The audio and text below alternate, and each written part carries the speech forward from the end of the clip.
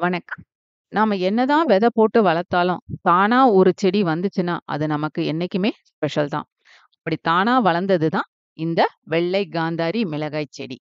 இதுக்கு இன்னொரு பேரு பேர்ட்ஸ் ஐ சில்லி அப்படின்னு சொல்லுவோம். ஏன் இந்த பேர் வந்துச்சு அப்படின்ட்டு பார்த்தா, பொதுவாவே பறவைகளுக்கு மிளகாய் பழம் அப்படின்னா ரொம்பவே பிடிக்கும். அதிலும் இந்த காந்தாரி மிளகாய் அதுக்கு ரொம்பவே பிடிக்கும். அந்த மாதிரி பறவைகள் சாப்பிட்டு அதோட எச்சத்துல இருந்து வந்த விதைகள் மூலமா உருவானது தான் இந்த செடி. ஸோ இந்த மிளகாய் வகை பரவலாக்கப்படுறதுல பறவைகளுக்கு ரொம்பவே பங்கு இருக்குது.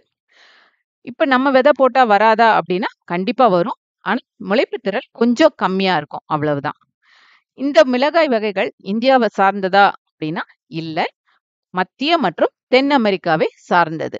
போர்ச்சுகீஸ் வியாபாரிகள் பிசினஸ்க்காக இந்தியா வரும்போது, அங்கு பரவலாக்கப்பட்டது. அது கேரளா மற்றும் கோவால இதை இன்ட்ரடியூஸ் பண்ணாங்க. இப்ப மத்த மாநிலங்கள்லயும் வளர்க்குறாங்க. இப்ப நம்ம பார்த்துட்டு இருக்க இந்த செடி, ஒரு மாமரத்துக்கு கீழே தான் வளர்ந்துட்டு இருக்குது. பொதுவாவே நம்ம மிளகாய் அப்படின்னா, நல்ல வெயில் வேணும் அப்படின்ட்டு தான் நம்ம வளர்ப்போம்.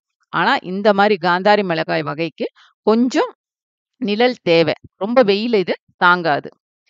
இந்த செடியை பார்த்தோம்னா, இதிலே வந்து இப்போ நம்ம பார்த்துட்டு இருக்கிறது லைட் கிரீன் கலர். இதிலே நல்ல டார்க் கிரீன்ல இருக்கும். அப்புறம் ஒரு பிளாக் கலர்ல இருக்கும். அப்புறம் லைட் ப்ளூ ஷேட்லயும் காய்கள் இருக்கும்.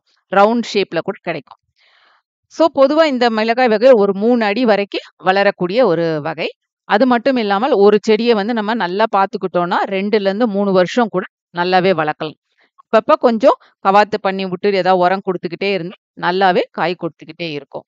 இதுல பூச்சி தாக்குதல் அப்படின்னு பார்த்தா, மத்த வகையில வர மாதிரிலாம் இதுல ரொம்ப வராது. கம்மியா தான் வரும்.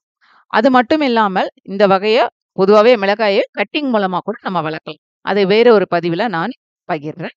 என்கிட்ட ரெண்டு வகை இருக்கு. இந்த லைட் கிரீனும், அடுத்து டார்க் கிரீனும். அந்த வகை இப்ப தான் வந்து பூ பிடிக்க ஆரம்பிச்சிருக்கு. இன்னொரு ஸ்பெஷாலிட்டி என்ன அப்படின்ட்டு பார்த்தோம்னா, இது நல்ல காரமான வகை. ஸோ நல்ல காரமா மிளகாய் வேணும் அப்படின்றவங்க, கண்டிப்பா இந்த வகையை வளர்த்து பாருங்க. நன்றி.